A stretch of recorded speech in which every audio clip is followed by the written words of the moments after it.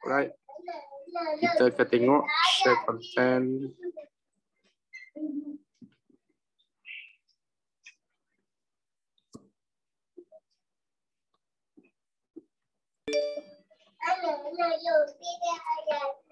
Okey, masih boleh dengar suara saya ke? Boleh, sir. Okey, alhamdulillah.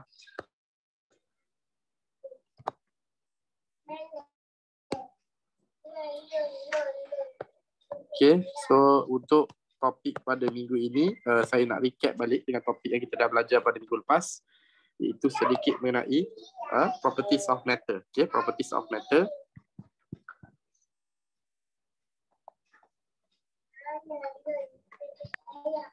Okay, so dalam tajuk ini kita akan belajar mengenai solids and fluids. Okay, solids and fluid. Okay, so kita dah pergi. Uh, so what is solid and what is fluid? right? And of course, if you want to discuss about solid, fluid, kita pun perlu discuss ya, gas, solid, fluid, uh, solid, liquid, and gas, because that is the states of matter yang yang kita belajar, yang kita tahu uh, kewujudan dia lah. Okay, we have solid, we have liquid, and we have gas. Okay, so um, what is solid? Uh, kita dah nampak, ya, solid uh, have a definite uh, volume okay, a definite shape, okay, a vibrate about equilibrium position, so almost uh, almost not moving at all, uh, a vibrate about equilibrium position. Okay, can be modeled as spring connecting molecules. Okay, kita dah discuss ini. Okay, saya dan solid ni banyak cerita dia, eh, banyak cerita dia, lebih banyak banyak cerita dia sebab dalam tajuk ini kita nak tengok deformations of solid. Okay, solid deformations. Perubahan yang berlaku kepada solid itu sendiri. Alright, so kita tak discuss banyak mengenai liquid eh, tapi kita kena tahulah what is the properties of liquid. Okay, uh, has a definite volume but no definite shape. Okay, exists at higher temperature than solids and the molecules uh, uh, wander through the liquid in a random fashion. Uh, random fashion lah. Tadi tidak ada pergerakan yang yang yang kata uh, um, apa yang di di di koreografkan dia hanya pergerakan dia dalam bentuk random. Okay, sama juga dengan gas, no no definite volume, no definite shape. Molecules are in constant random motions. This is plasma, types of matter, and then we learn a little bit of density. Okay, mass over volume. So mass is in kg, while volume is in meter cube. That is the SI unit. So kgm negative 3 is the unit for density. Okay, however, untuk density kadang-kadang, okay, they will write down as gram per centimeter cube. Alright, uh, so tolong ingatkan balik macam mana nak convert daripada kgm negative 3 kepada gram per centimeter 3, uh, centimeter cube. Cube tu 3 ya, power of 3. Okay, so kena tahu macam mana ya, dia dia dia dia berlaku um, apa conversions antara g centimeter negative 3 to kg m negative 3. Okay, um, and then we go straight to the pressure, and then we we learn about uh, deformations of solids. Okay, deformations of solids. So apa yang kita belajar dari deformation of solids? So first of all, the properties of elasticity. Okay, the properties of elasticity. Elastic, perkataan elastic itu merujuk kepada uh, sifat ataupun properties of the matter, sifat bahan tersebut. Okay, bila masuk elasticity tu, elastic maksudnya kalau kita faham, perkataan elastic ialah keanjalan. Okay, maksud dia the the the the, the ability of the uh, the the ability of the matter or properties of the matter that can uh, is attempt to return to its original position. Okay, katalah kita tarik macam getah lah, getah punya elasticity ya. Kita tarik kita lepas, kita nampak dia kita tarik dia ke dia akan regang ke kanan uh, ataupun regang keluar dan bila kita lepas dia akan uh, menguncuk balik ke ke dalam. Jadi bila kita boleh nampak dengan jelas the elastic properties of the rubber band. For, that is for example. Tetapi dalam bahan-bahan lain juga pun ada uh, elastic punya properties ni. Okay, sebab itulah cara nak kita tengok elastic properties ini ialah mengerusi stress and strain. Okay, uh, we, I need to, to emphasize on the stress and strain. Okay, stress and strain. Uh, stress ialah force per unit area. Ini ayat dia. Force per unit area. Kita tahu untuk force per unit area ini, stress ini juga membawa maksud pressure. Okay, pressure. Tekanan. Uh, tekanan kan. Force per unit area. Force per unit area is, oh, is a stress. Okay, how about strain? Okay, strain is a measure of the amount of deformations. Okay, maksud dia macam ni. Strain ialah apa yang berubah selepas kita bagi stress. Okay, stress ialah perkara yang kita manipulate kan dan strain ialah perkara yang dia akan uh, uh, uh, reflect. Uh, reflect pergi ke arah strain. So stress and strain. Sebab itulah dalam stress and strain akan ada satu uh, uh, apa graph ini dia graph stress and strain for example ya di mana okay uh, stress is uh, directly proportional to strain uh, bila stress naik strain pun naik. But at least until it reach its elastic limit. Kat mana elastic limit tu? Ada dekat sini. Kalau kita tengok dekat situ ada elastic limit. Ada point di mana after that elastic limit point okay the properties of elasticity have been decreased. Elastic ataupun sesuatu elastic behavior uh, stress and strain is no more uh, stress and strain is no more uh, directly proportional. In fact, okay, uh, kalau kita directly proportional ni macam mana eh? Uh, contoh dia macam okay, satu uh, stress naik, satu strain naik dua stress naik, dua strain naik. Maksudnya kita nampak pola dia, the the the the okay, the, the, the concepts ataupun um, okay, pola perubahan uh, nombor itu jelas kita nampak okay, dia memang sama. Okay, in other words, kalau kita plotkan graf, dia akan dapat straight line. Uh, a very straight line. Tapi kalau selepas elastic limit, uh, contoh dia ni, bila selepas elastic limit tu dia dia akan jadi macam mana? Is no more uh, directly proportional. It still uh, increase. Okay, bila kita apply stress over the elastic limit, uh, the strain is still increase, but not directly proportional. Ah, uh, kalau orang tanya kan, does it obey uh, the elastic limit? Dia akan obey, tetapi dia tidak dapat lagi uh, directly proportional. No more, no longer directly proportional. And then, uh, for kalau kita tengok macam mana keadaan no no longer directly proportional, so we can see that Okay, ha, ni ayat dia. Ordinary does not returns to its original length. Kalau kita buat, kita tarik satu benda, okay, kalau dia masih lagi directly proportional, kita lepas dan dia akan balik semula pada keadaan asal. That is elastic. Kan? But kalau kalau kita uh, dah apply force and it reach its elastic limit point, okay, oh, so we go over that, we go beyond that, that value. So whatever it is, it does not returns to its original position or length.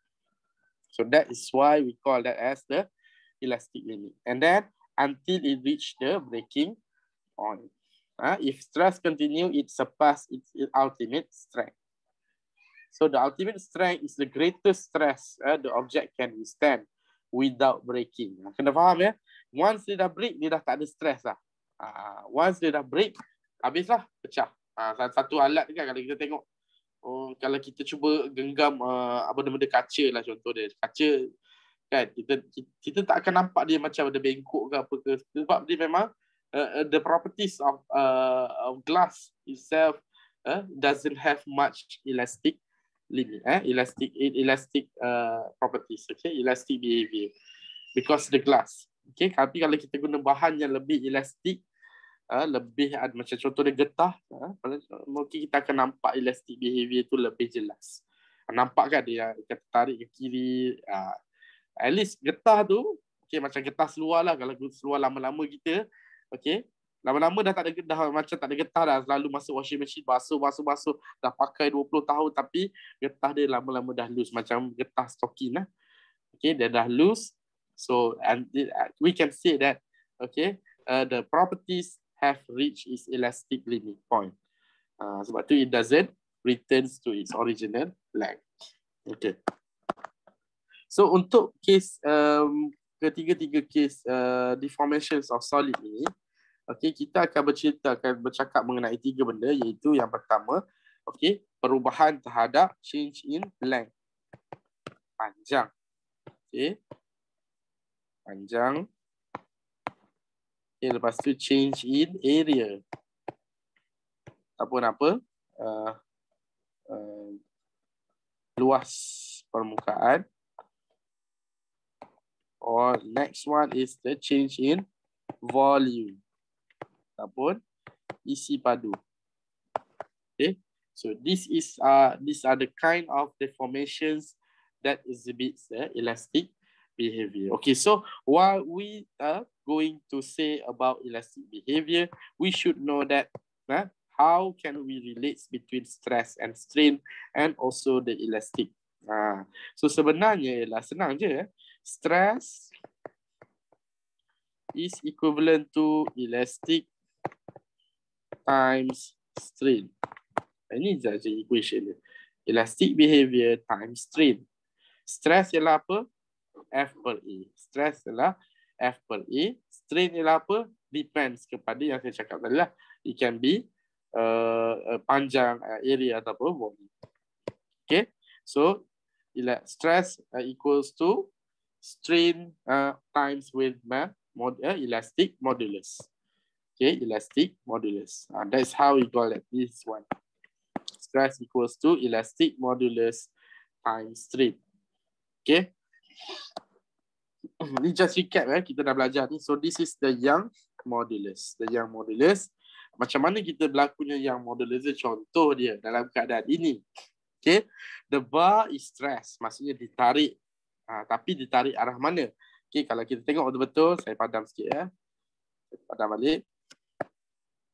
Okay, macam mana apa yang berlaku kepada yang modulus, okay, well, which have elastic in length, elasticity in length. Contoh dia, okay, we apply some force, okay, we apply some force uh, towards this area, towards this point, okay, ke arah load depan ni, ni dia tarik macam tu, okay, ni dia apit G, okay, dan kita letak ini, ini bar, uh, mungkin dia buat daripada tak tahulah material apa, tetapi we can say that the bar itself okay, uh, ditarik pada arah itu. Nampak eh? Ditarik. Adakah kita, kalau benda ni ialah benda solid, kita akan nampak eh, memang akan nampak. Ini bukan plasticine eh. Kalau plasticine kita nampak lah ada dia akan tertarik kan. Dia macam tertarik macam tu. Uh, macam tu. Tapi ini bukan plasticine. Ini ialah besi betul. Which is ini ialah solid.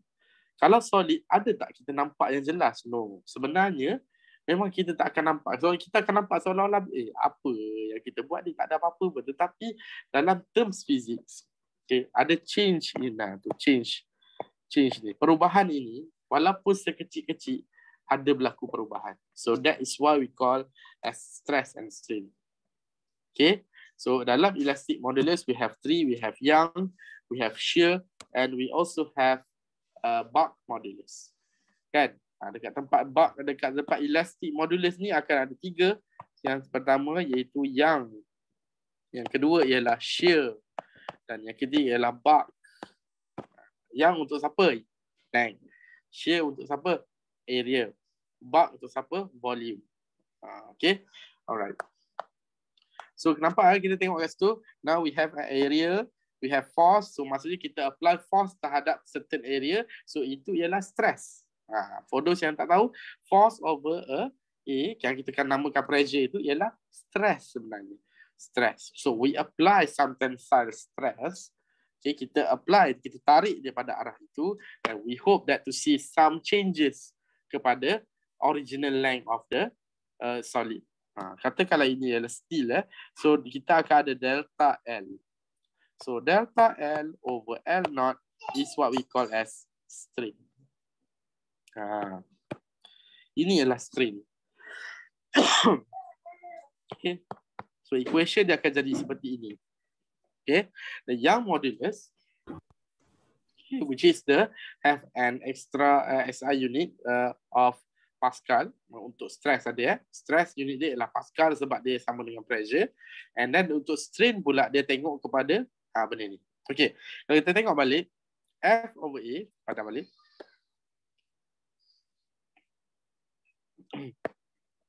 okay. Now we have F over A. So this is F over A. This one is what? Uh, stress.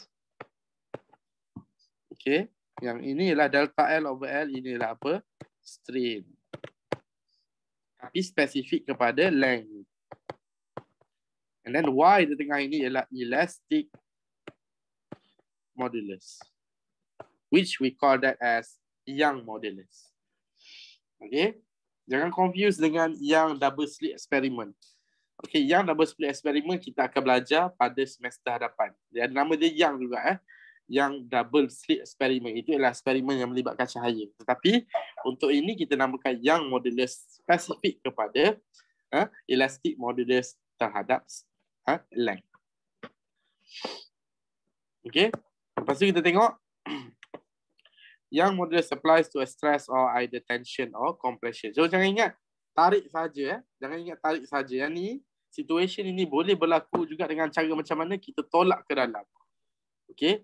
We uh, push uh, on that uh, particular directions uh, on towards the area towards some area. We apply some force towards some area to see some changes.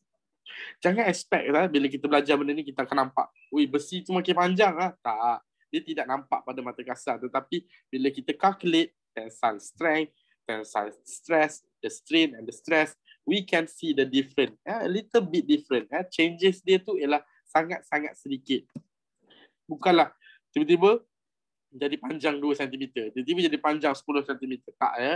Dia nilai dia sangat kecil. Jadi kita boleh expect delta-delta ni, penambahan-penambahan ini ialah value yang too small banyak kosong-kosong kat depan. 0.0023 ah macam tu. Okay, a very small value. So don't expect something be logical lah on that. Okay.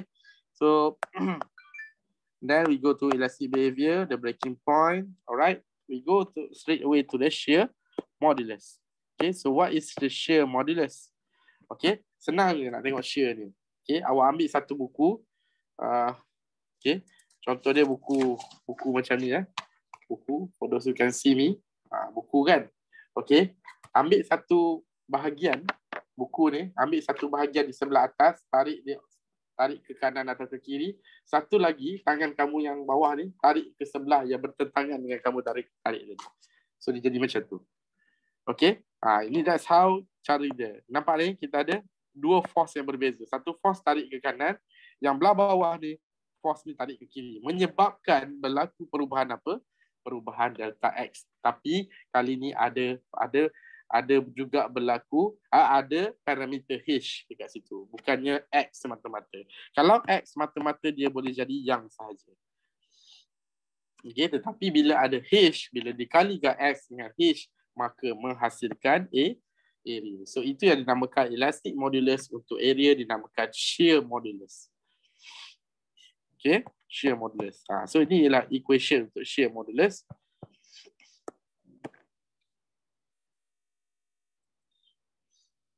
Okay, this is how they, they did the shear modulus. Again, this, this is a shear stress.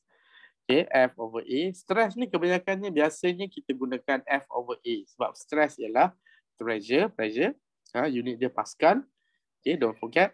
And how about stress strain? Ha, ni delta X over H. Ha, dekat mana delta X tu? Berlaku perubahan pada panjang dan H ialah apa? Ketinggian dia. Bila ada berlaku perubahan dengan panjang dengan A dengan H, bila kita kali X dengan H, kita dapat area. So this is the pressure. Sorry, ataupun stress. Ini adalah strain. Dan ingat delta X over X. Tadi delta L over L not. L not tu ialah original length. Itu maksud dia ditarik pada satu arah sahaja. Tidak melibatkan perubahan area. Kalau melibatkan perubahan area, kita akan namakan dia shear modulus. Okay, so in this case, S is the shear modulus. Okay, there is no volume change in this type of deformations. I remember, okay, tidak ada berlaku perubahan dari segi isi padu ataupun volume. No change in terms of volume, but uh, we can only see the change happen to the area. Uh, untuk area lah. Remember, the force is parallel to the cross-sectional area. In tensile stress, the force is perpendicular to the cross-sectional area. Then we go to the bulk modulus. Okay, we go to the Buck modulus. So in Buck modulus, characterize the response of an object to uniform squeezing. Ah, okay, apa tu squeezing? Okay, right. Suppose the forces are perpendicular to and act on all the uh, surface. Okay, so the object undergoes a change in volume without a change in shape. This is how they did. Okay, if you can see, cuba kita bayangkan ya. Dia macam-macam mana pun dia mesti F over A untuk stress. So untuk panjang, F dia hanya ada satu. Okay. Tapi untuk shear modulus, F dia ada berapa? Kalau kita tengok shear modulus ataupun area tadi, F dia hanya ada dua. Satu ke sebelah kiri, satu ke belah kanan. Dua. Tetapi kalau untuk bulk modulus, tengok F dia ada berapa? Ada banyak, more than two because the volume, which is the delta, uh, uh, delta P, is the ratio of the change in the magnitude of the applied force to the surface. Okay, the volume straight is equal to the ratio of the change in volume to the original volume. Jadi equation dia macam ni lah. Okay, again, ini dia punya delta P sahaja nak tak sedangkan sebenarnya delta P ni ialah F over E. But kenapa ada negatif dekat situ? Okay, kenapa ada negatif B? Orang lain tak ada pun dah. Ini sebab melibatkan squeezing. Squeezing maksud dia daripada satu benda besar, kita nak squeeze, kita nak picit dia sampai jadi kecil. So berlaku negatif. Uh, so yang again, yang delta V over V, delta V ialah change in volume, V ialah original volume. So we put the, the negative. Okay. Any questions? Yang tu dulu. Untuk ketiga-tiganya. Boleh faham eh? Okay. Now kita tengok kepada uh, Archimedes. Okay. Principles of Archimedes. Archimedes. Okay. So what is Archimedes? Kita dah tengok macam mana Archimedes menerangkan mengenai buoyancy force. Daya apungan okay, daya apungan. Okay, so uh, uh, happened to uh, to him. Okay, he's a, he's a mathematician, physicist, and engineer. Okay, and he actually uh, um, have introduced the Archimedes principle. Okay, benda ni berlaku secara spontaneous saja. Macam mana dia boleh berlaku bila dia nak mandi. Okay, dia masuk dalam air yang ada batap kan. Orang dulu kan dia mandi pakai batap. Okay, dan air melimpah keluar. Okay, and then dia boleh bayangkan yang uh, bila dia berada dalam batap, air uh, dia seolah-olah tidak tenggelam sepenuhnya. Dia tenggelam separuh. Tenggelam separuh. Ha? Right. So, dalam ke, dalam ke, kejadian yang itu, okay, So telah menyebabkan air yang terlum, ter, terlimpah keluar itu dia measure the weight dia sama juga dengan force yang uh, ap, apungkan dia kan. So ini ialah Archimedes principle any object okay com, completely or partially submerged in a fluid. Okay remember fluid saya dah mention dah itu what is fluid? Fluid ialah liquid plus gas ataupun liquid or gas. Kita panggil dia fluid. So kejadian ini boleh berlaku juga dalam balon yang ada udara yang ada ditiup uh, udara ataupun air. Sebab air itu ialah dalam bentuk gas. Is boil up. Ni dia. Boil up by a force whose magnitude is equal to the weight of the fluid displaced. Jadi air yang tertumpah keluar bila kita measure dia measure dia punya weight, ingat ya, measure dia punya weight eh kita calculate dia punya weight and then will be equivalent uh, equal to the buoyancy force. Ah daripada daya yang mengangkat kita tadi. So that's how kita boleh determine the buoyancy force. Okay. So that is something kamu dah belajar dalam masa sekolah dulu, the buoyancy force. But in here, we want to uh, expand your knowledge, uh, try to go into uh, more details in the part of buoyancy force. Uh, maybe dulu kamu hanya hafal equation, tetapi tidak hafal, uh, tidak faham apa yang berlaku kepada buoyancy force. Okay. Kita tengok Okay, the upward force is called buoyancy force. The physical cause of the buoyant force is the pressure different uh, between the top and the bottom of the object. Kenapa dia mention top and bottom? Yes. Okay, kalau kita tengok beberapa topik sebelum Archimedes ni, dia bercerita mengenai pressure. Pressure ada tempat yang pressure dia rendah, ada tempat yang pressure dia tinggi. Okay, uh, sama juga dalam kes depth, kedalaman. Air yang duduk di permukaan atas berbeza dengan, sorry, pressure yang berlaku di permukaan atas uh, berbeza dengan pressure yang terdapat pada permukaan yang jauh lagi dalam. Okay, kenapa berlaku macam tu? That is due to uh, pressure. Okay, uh, ada benda kita kena tengok mengenai pressure and that. Okay, later on. Eh. But in this case, we will just focus on the Archimedes principle and which the Archimedes stating that uh, the uh, when uh, object is uh, either completely or partially submerged okay, in a fluid, that that boy, eh, the force the boy, the boy yang uh, ataupun buoyancy force yang apungkan sesuatu uh, objek itu yang di dalam air bersamaan dengan weight of the fluid displaced. Air yang tertumpah keluar ataupun air yang diambil tempat dia oleh objek tersebut bila kita measure dia punya weight akan sama dengan buoyancy force. Okay. So in here, the magnitude of the buoyant force always equals to the weight of the dis uh, displaced fluid. Okay, so dalam kes ini F F B F equals to rho lah. Ini digunakan rho. Ha, dia bukan P ya, dia rho nama dia. Rho which is rho of what? Rho of fluid. Kalau water, water lah. Kalau air sirap, air sirap lah. Uh, kalau air ada garam, air ada garam lah. Okay, so depends on the fluid. Kalau kalau apa kalau gas lah maksudnya density. Ini rho rho ini lah apa den density. Density of fluid. So rho of fluid which is density of fluid. Now we have V fluid apa itu V? V ialah apa? Volume. Okay, volume. Volume of what? Again, volume of fluid. Bukan volume of orang tu. Ah, volume of fluid. Tapi kita kena faham ya, bila volume of fluid, okay, mestilah boleh kita calculate. Sedangkan tadi kita measure, kita tengok dalam uh, fluid ataupun ataupun liquid lah, liquid ataupun gas. Kalau kita nak measure dia, dia, dia tidak mempunyai definite shape. Shape tak ada. Okay, kalau untuk gas, contoh dia uh, volume tak ada, dia punya uh, definite volume. Volume pun dia, dia tak ada. So macam mana kita nak calculate? So that's why kita ambil uh, orang tu punya ataupun benda yang masuk ke dalam fluid tu. Volume benda yang masuk ke dalam fluid tu sama juga dengan volume fluid. Ah, so that's why kita boleh fikir macam tu eh. Try to think like that. Right? And then times with the gra gravity. Times with the gravity. So again, that will equals to the fluid weight of the fluid displaced. So biasanya buoyancy force dia cerita pasal ni dengan ni sahaja.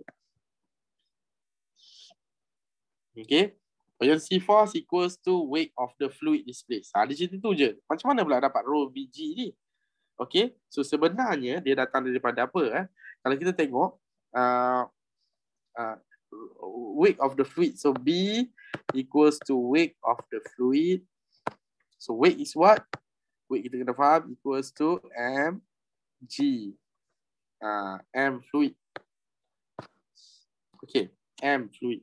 Alright. So kita dah belajar tadi density. Density is equivalent to M over V. So mass is equivalent to rho V. So rho V ni masuk ke dalam M. Okay, sebab itulah kita dapat rho VG. Ha, eh, for those yang yang mungkin clear atau tak clear, tak apalah. Okay just take note on that thing. Okay. And dia asal daripada weight. Kan? Weight sama dengan mg. M ialah, kita, tengok dalam formula density bersamaan dengan rho equals to m over v. Mass per unit volume. So nak dapatkan mass ialah rho kali dengan volume. Rho is density, v ialah volume, mass, m ialah mass. Okay, the buoyant force is exerted by the fluid whether an object sink Sing ini apa maksud dia apa? Tenggelam. Macam mana contoh tenggelam? Ha, macam ni lah. Ha, dia masuk semua. Tenggelam. Okay. Tenggelam or float. Ha, apa beza float dengan tenggelam? Float pula dia ter terapung. Terapung di atas. Maybe ada slide di bawah. Kan? Ada beza sikit kat belah bawah. So that is float. Terapung. Kalau sink, dia tenggelam. Okay. Biasanya dia tak guna perkataan sink. Dia gunakan submerge partially or submerge fully submerge tenggelam sepenuhnya tenggelam separuh okay so that's why kena tengok betul-betul ya on the relationship between the buoyancy force and the weight okay so the Archimedes principle is for the totally submerged object kita tengok dulu for totally submerged object. Okay so the upward so macam tadi the submerged uh, fully submerged kita kena nampak this is your fluid and the when the uh, object is partially sorry totally submerged. Okay totally submerged. Apa yang berlaku dekat sini? Kita kena faham macam mana satu keadaan ini berlaku. Okay buoyancy force ini dalam keadaan macam mana sebenarnya okay kita tengok balik so the upward buoyant force upward buoyant force ialah roll of fluid okay ya yeah.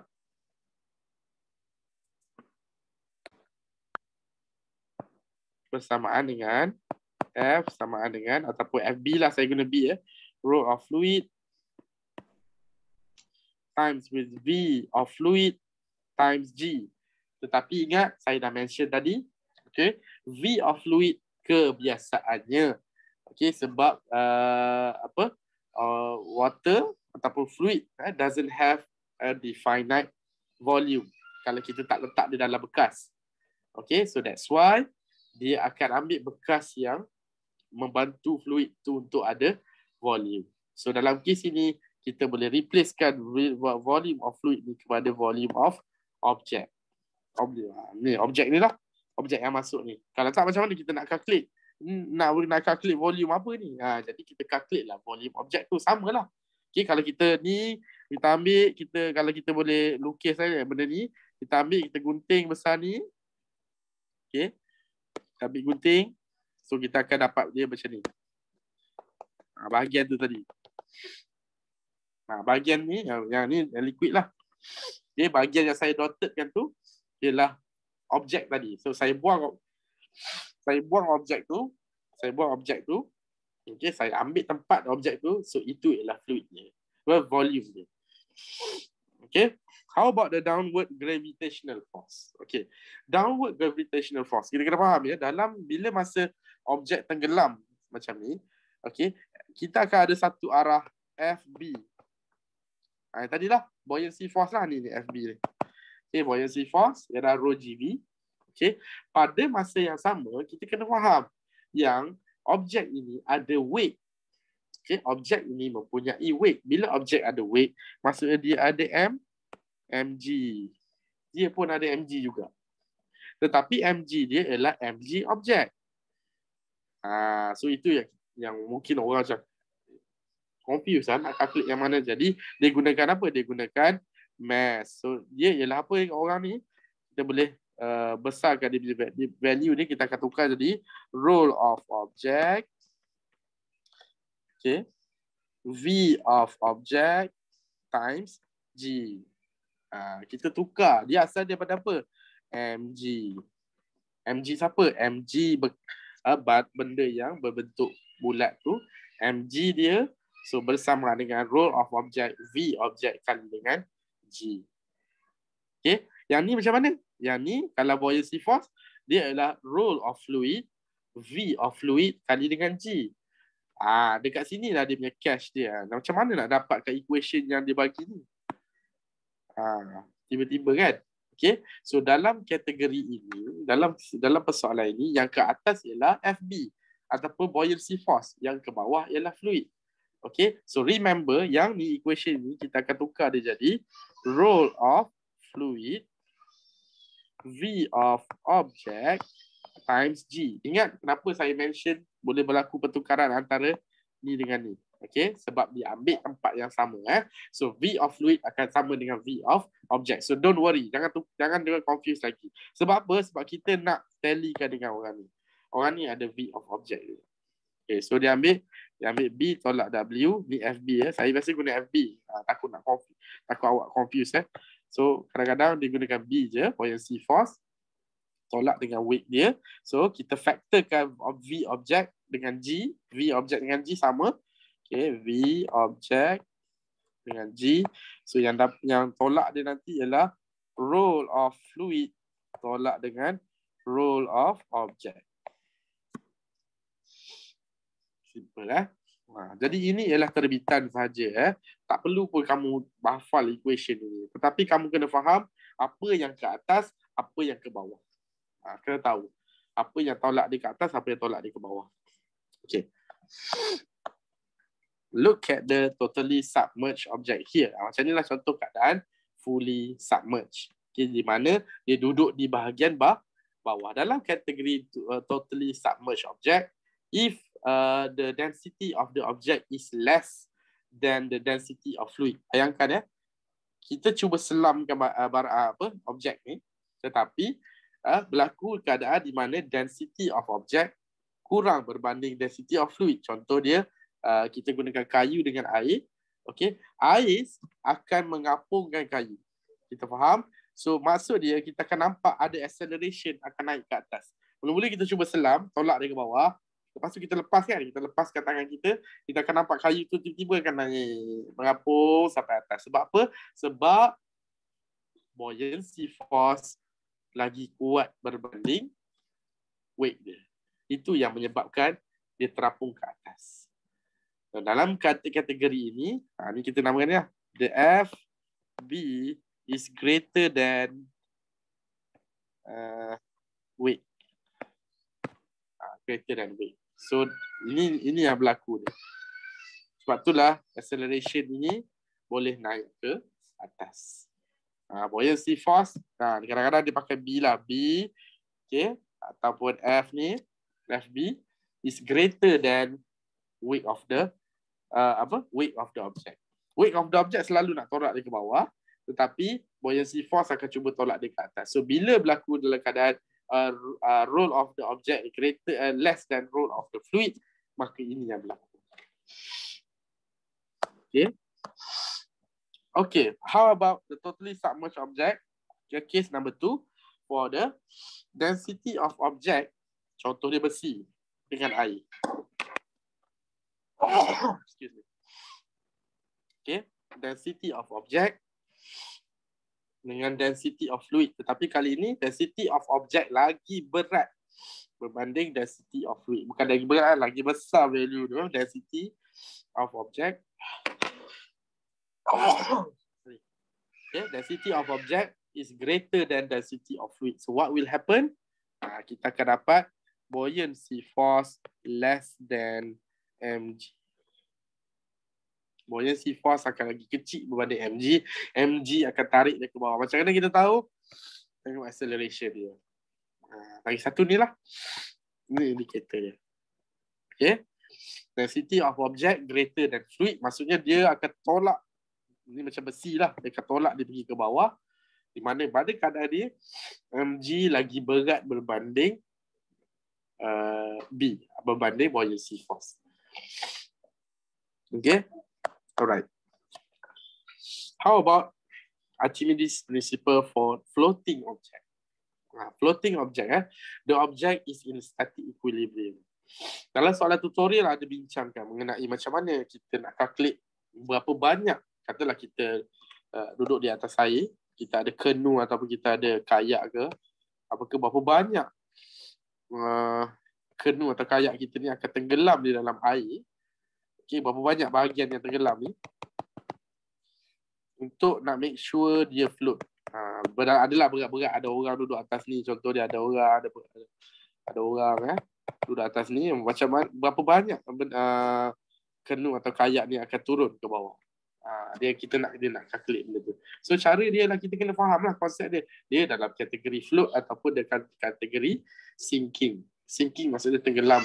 Ha, tenggelam ada dua ada fully submerged, ada uh, uh, partially uh, partially submerged. Dalam submerged pula ada kategori. Ada bahan yang diduduk naik ke atas. Uh, dia akan cuba naik ke atas ataupun ada bahan yang akan turun ke bawah. So the object in static equilibrium, the upward buoyant force is balanced by the downward force of the gravity. Dalam keadaan ini, okay, dia akan jadi B equals to mg. Ini kan B equals to mg.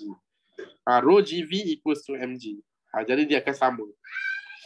Tak ada siapa yang mengatasi apa. Okay, volume of the fluid displaced correspond to the volume of the object beneath the fluid level. Okay. Okay, so for the fourth uh, floating object, the forces balance. Uh, forces balance. Okay. Maksudnya B sama dengan mg. Itu saya cakap tadi lah. B sama dengan mg. So roll B sama dengan mg. So roll of fluid V fluid V bersama dengan roll of uh, object V object kali dengan G. So G dengan G potong sebab dia ada sama. Uh, inilah dapat equation yang macam kat atas ni. Okay. So roll of fluid akan turun ke bawah. Uh, v of object akan turun ke bawah. So V fluid bahagi dengan V object bersama dengan roll of object bahagi dengan roll of fluid. Uh, jadilah sebiji macam ni. Tapi inilah cara dia dapatkan equation. Okay, the two forces are equal in magnitude and opposite in direction. So that is the simplest things that we can learn in Archimedes principles. Okay, so dalam dalam untuk fizik pada semester ini kita tak belajar pun ha? dalam uh, uh, principles of Bernoulli semua ni Pascal ke apa kita tak belajar. Kita spesifik kepada Archimedes. Okay. So yang belakang-belakang ni semua tak ada dah. Kita belajar sampai situ je. Kalau kamu nak baca sendiri boleh je, tak ada masalah. Baca sendiri saja. Okay. Ada soalan?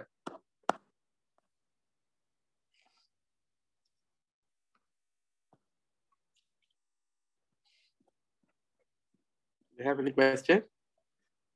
So far? So far so good?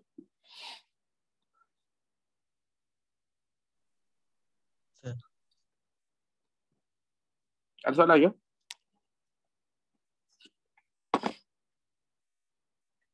Let saya stop.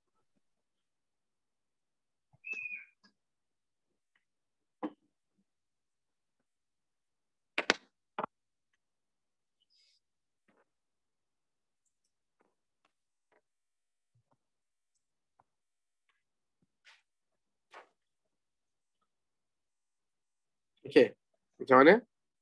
Pertanyaan?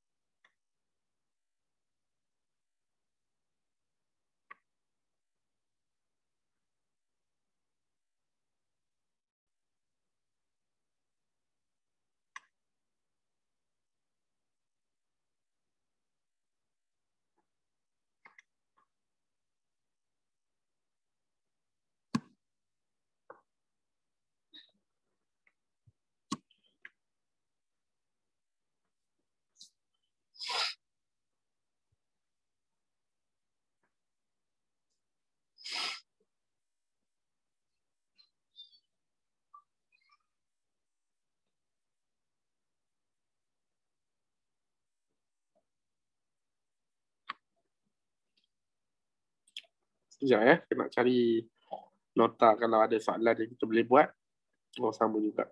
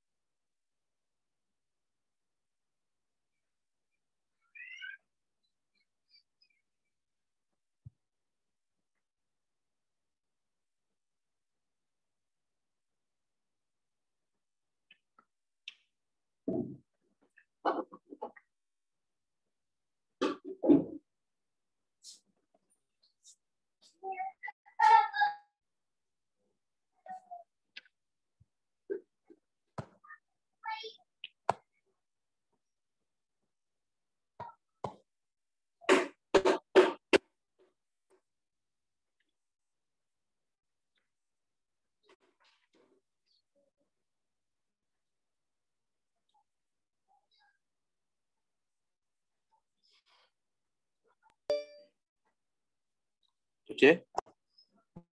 So far so good? Okay. So uh, kita akan cuba discuss sikit lagi mengenai tajuk yang berikutnya iaitu temperature and heat. Okay. Uh, so tadi kita dah habiskan uh, berkaitan dengan berkaitan dengan uh, apa? Berkaitan dengan uh, properties of matter, uh, sifat bahan. Kali ini kita akan pergi sedikit mengenai temperature and heat. Uh, so ini minggu 11. Okay, so I don't want to waste any time. Okay, saya takut nanti saya ada masalah buat kelas ke lagi ke. Okay. So kita akan teruskan sebab ini adalah chapter-chapter yang dah mudah dan senang. Okay, tak ada masalah untuk nak, nak solve problem-problem ni. Okay, so first we go to the temperature and the zeroth law of the thermodynamics. But I don't want to go on that things first. Saya nak tinggalkan dulu yang bahagian depan ni. Saya nak teruskan kepada thermal expansion. Okay, thermal expansion. Sebab dalam keadaan thermal expansion ini ada uh, berkaitan dia dengan bahan. Uh, bahan yang kita dah belajar tadi which is the linear. Uh, which is the uh, uh, stress and strain. Okay, stress terhadap length ya dia akan dapat strain which is kita akan gunakan yang modulus okay stress terhadap uh, area kita akan dapat shear modulus dan stress terhadap volume kita akan dapat bulk modulus. Okay, now we go to the uh, to the uh, things. Eh. If you have uh, substance, okay, substance ini ialah apa-apa juga yang ber, yang yang uh, bukan apa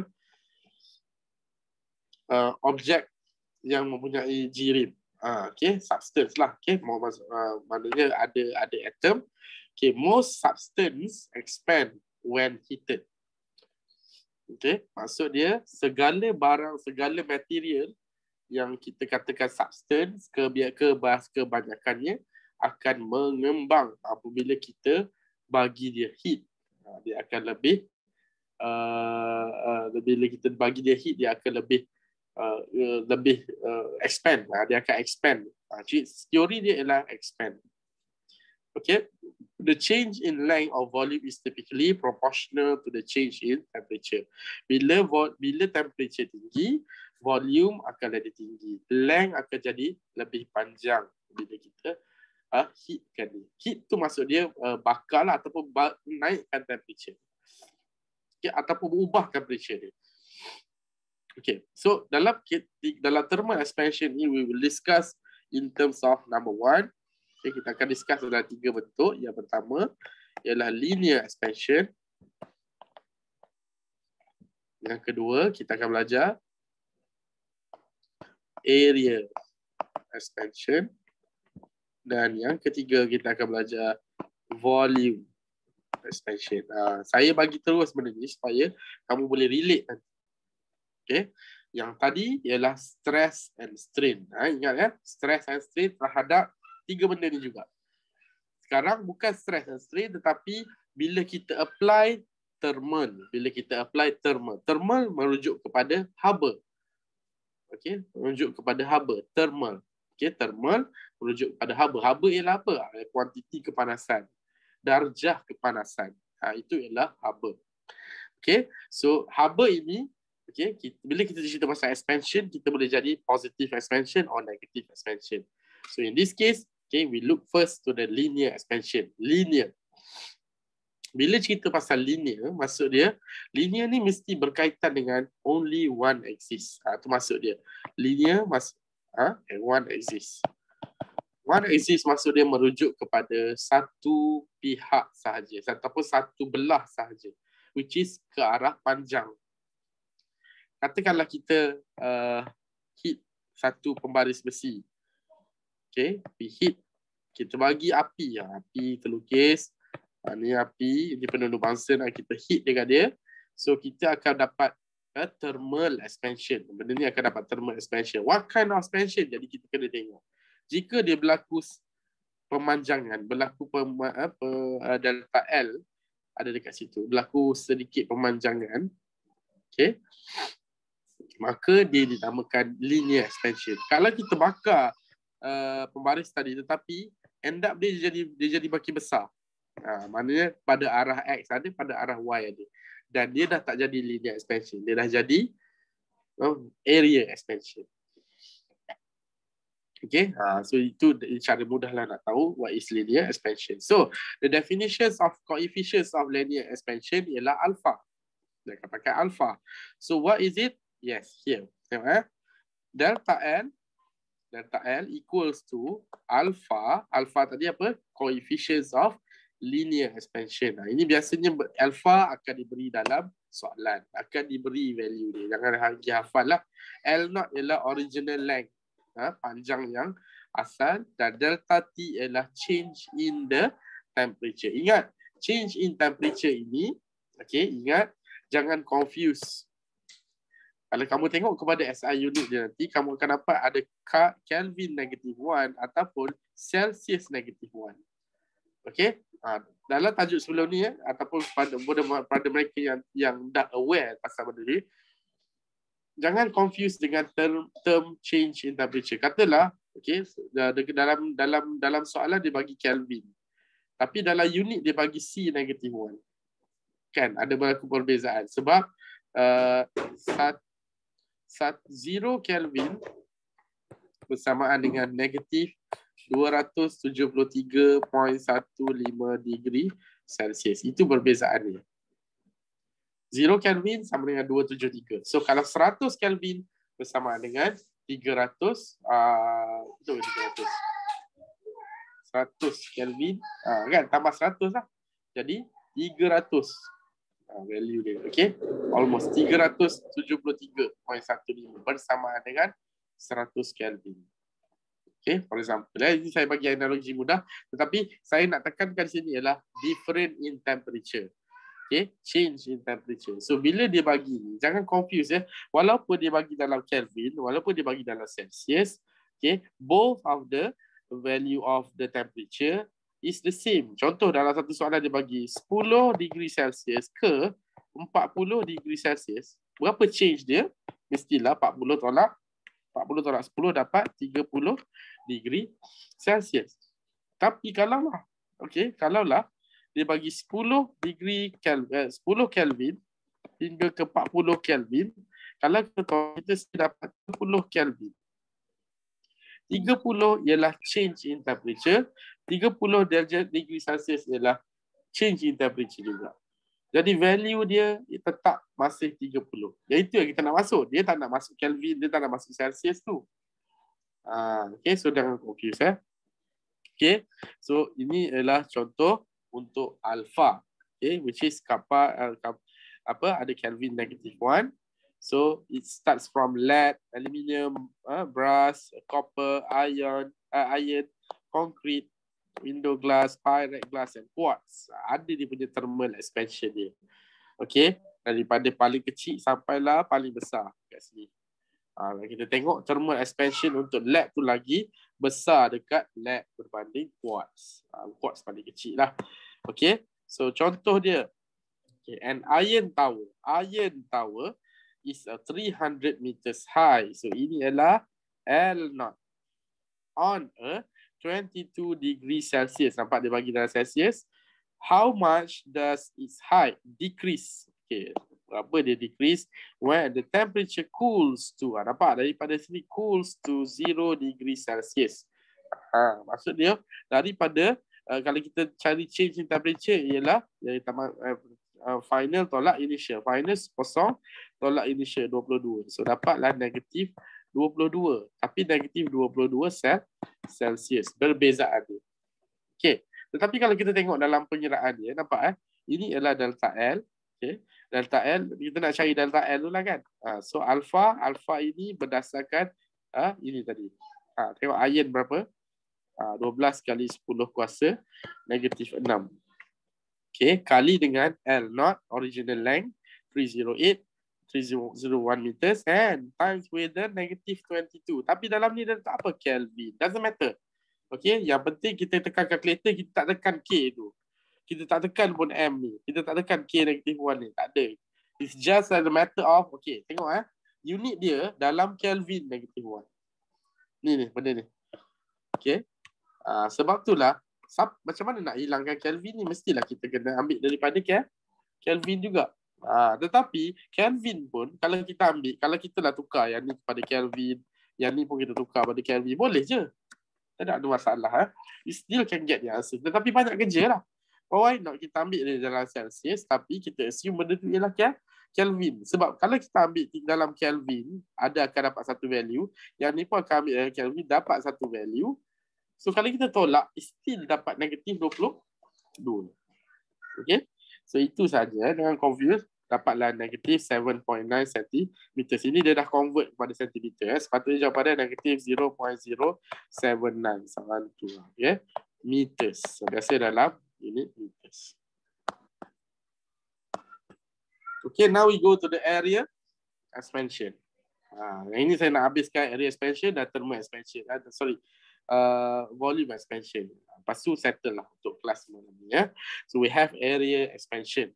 Okay, in the area expansion, the expansion of an area of a flat substance is derived from from the linear expansion in both direction. Macam saya cakap tadi lah, linear expansion. Dia sebenarnya linear, tetapi dia pergi ke arah sini, dia pergi arah sini. Kalau linear yang biasa, dia hanya pergi satu arah saja. Ini linear.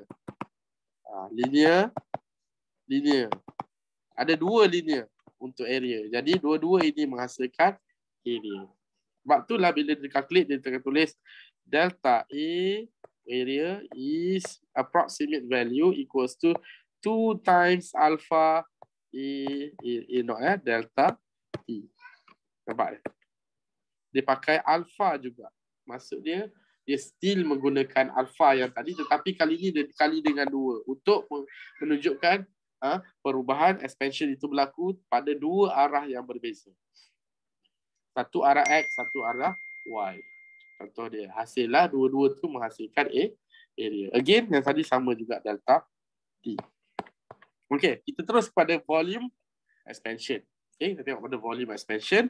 The change in volume of a solid is also derived from the linear expansion. Ah, linear expansion untuk volume. Okay. Okay, untuk volume ingat dia ada dua. Okay, sebab volume boleh jadi volume kepada benda yang solid. Ah, volume benda, yang solid. Benda yang solid ni contoh dia adalah cube. Ataupun kubus kan ada alfa, ada alfa, ada alfa, alfa kali alfa kali alfa bersama dengan tiga al, tiga alfa. Ha, so delta V at about three times alpha. Tadi untuk area two times alpha. Kalau linear, one alpha only. Okay, V, V not, then delta T. Cuma untuk volume, dia ada special sikit untuk liquid dengan gas. Kalau area tak ada, kalau linear pun tak ada. Okay. Untuk volume dia ada dua. Satu untuk solid, satu untuk liquid dengan gas. Satu untuk fluid lah. Ha, dua-dua ni ialah fluid. Untuk fluid dia pakai satu lagi term dinamakan beta. Okay ingat eh. Untuk volume dia ada dua. Satu, uh, tiga alpha. Satu lagi beta. Ada dua. Okay. So ini untuk khas untuk solid. Ha, ini khas untuk di fluid. Liquid dengan gas. Macam mana tu? Ah, kita akan tengok soalan dia lepas ni. Okay, this is the some typical coefficients of volume expansion untuk beta ni. Ha, kalau kita tengok untuk beta ini, kita ada ether, carbon, atau chloride, okay, alcohol, gasoline, olive oil, water, mercury. Semua ini ialah bukan solid. Ia ialah fluid. Sama ada dalam bentuk gas ataupun dalam bentuk li liquid. Ha, so cerita dia macam mana? Okay, kita tengok kepada situation ini. Oil spill. Okay. A copper flask. Nampak ya? A copper flask. Maksud dia inilah flask yang dibuat daripada copper. Okay, flask ini adalah bekas ya, bekas yang dibuat daripada copper with a volume of 150 cm cube. Ini adalah V0. Okay, fill to the brim. Ha, diisi sehingga penuh, sehingga brim ni sampai sampai atas lah, sampai sampai hujung, sampai atas sekali. Maksudnya kalau kita isi lain lagi dia dah dia akan tumpah. Ha, eh? Fill to the brim with olive oil. Nampak dia ada guna olive oil. Ha, dia mention macam tu. Ada copper flask, ada olive oil. So kalau kita nak cari cerita pasal expansion, volume expansion, copper ada expansion dia. Olive oil ada expansion dia. Kan kita tengok. Sebab copper akan pakai T3 alpha uh, olive oil akan pakai beta. Okay. if the temperature of the system is increased from 6 to 31 degree Celsius, nampak 6 to 31. Berapa beza dia? Negative, eh, sorry, uh, 25 degree Celsius. Okay, soalan dia, how much oil spills from the flask? Berapa banyak minyak yang tertumpah daripada bekas tersebut selepas dipanaskan about 6 to 31 degree Celsius. Ha, macam mana dikalkulate? Okay, first of all, dikalkulate dulu delta V untuk oil, untuk olive oil tadi. So, nampak dia pakai B, beta. Macam mana nak tahu? Dia akan refer kepada beta untuk olive oil berapa? 0.8, 10 kuasa negatif 3. Unit dia masih lagi Kelvin negatif 1. Okay, so 150 cm cube. Okay, mungkin tak sesuai nak pakai 100 cm tu. Guna, kenalah convert kepada meter cube. Dalam kes ini dia tak convert sebab dia tinggalkan jawapan dalam centimeter cube. Okay. Dan, dan kali dengan 25K dan saya, saya mention balik kenapa dia pakai K sebab dia nak matikan K ni dengan K yang ini. Satu K dekat atas, satu K dekat bawah. Bolehlah potong kan. Kalau satu Celsius, satu Kelvin, macam mana nak potong? Uh, you cannot cancel out uh, Celsius and Kelvin. Eh, sebab dia ialah delta T. Okay, delta T dia ialah change in the temperature. Alright. So 2.6 centimeter cube.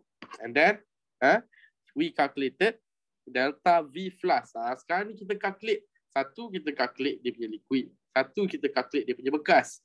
So 3 alpha. Alpha tadi kita nak pakai siapa? Kita pakai copper punya. Sebab dia adalah copper flash. Berapa copper flash? 17 times 10 power of negative 6. Uh, dapat. Bila buat, kita selalu refer. Uh, dia guna ini 3 kali alpha kali dengan 150 as uh, its own V naught and 25 K. So it be equivalent to 0.19 cm cube. So how much the difference between oil dengan flask tadi change dia? Kita tolak lah. Dapatlah 2.4 cm cube. Uh, this is one yeah, examples yang boleh bagi kefahaman jelas mengenai uh, uh, volume expansion. Okay, volume expansion between flask and also olive oil. Okay, okay, saya akan stop di sini dulu. Ada apa-apa soalan? Saya nak tanya. Yes, silakan. Uh, untuk perbezaan suhu kita perlu letak negatif positif untuk membezakan dia semakin panas ataupun semakin sejuk. Kita tengok uh, suhu itu uh, daripada start sampai uh, start dengan habis dia macam mana lepas tu ambil final tolak initial. Sebab dia adalah delta. Faham sir. Okay. Okay, jadi kalau kalau macam tadi kan case yang dia cool lah, cool daripada 22 kepada kosong. Jadi siapa yang akhir? Kosong lah kosong tolak 22 jadi negatif 22. Okey, lagi? Ada soalan?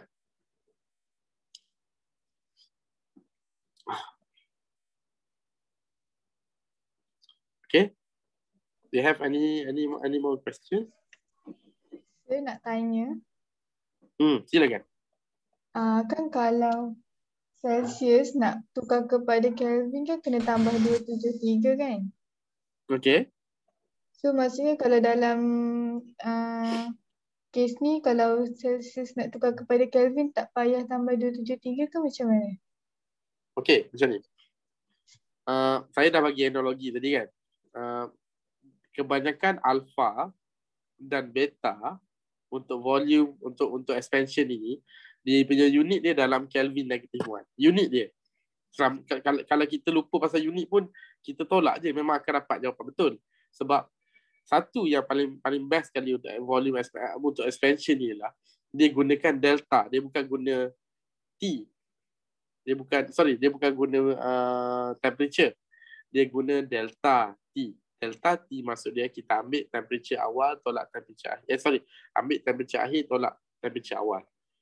Kan? Dia nak perubahan saja dia bukan nak exact uh, tempat ni uh, berapa dia punya degree dia. Tak. Okey? Jadi dia ambil perubahan. Okey. 5 darjah celsius dengan kosong darjah celsius kalau kita tengok berubah dia berapa? 5 Okay. Okay, katakanlah 5 darjah Celsius bila convert kepada Kelvin dia jadi 30 Kelvin. Kalau uh, kosong darjah Celsius uh, tukar kepada Kelvin, katalah jawapan dia 25. 25. Sebab dia beza tadi 5, yang ni pun dia mesti 5 juga. Sebab dia sama kan? Ha, Celsius dengan Kelvin ni dia dia punya perubahan dia sama. Ha, okay. Jadi yang tu 30 tolak 25 pun dapat 5. Ha, kalau kita biar dalam Celsius pun dapat 5. Jadi kita tu tambahlah K. Kan? Sebab yang penting beza dia ialah 5. Beza dia tetap 5. K tu sekadar nak make sure, okay, aku dah potong K ni dengan K yang belah bawah. Okay lah. Dan betul lah jawapan dia dalam sebutan uh, apa? Uh, unit SI yang lain, meter ataupun sentimeter. Boleh? Okay, thank you sir. Okay. Lagi? Soalan lain? Ni dah boleh buat ya tutorial next which is tutorial 10 dah boleh dah boleh buat dah ni. Ha. Lepas-lepas ni insyaAllah tajuk dah tak susah. Tajuk temperature kamu dah belajar. Specific, specific heat semua tu. Ha, kita akan belajar tajuk ni lah. Ha, mungkin dalam seminggu dua ni. Ni minggu ke-11, minggu ke-12, mungkin minggu ke-13 settle lah kita punya lecture semua. Eh. Cuma kita nak kejar tutorial lah nanti. Okay. Alright. Ada soalan lain?